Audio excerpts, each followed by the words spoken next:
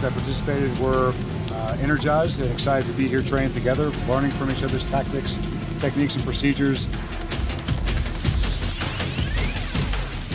I think when you when you conduct a, a, raid operation or an attack of this complexity, it's inherently difficult. It makes it more complex when you're doing it alongside partner nations.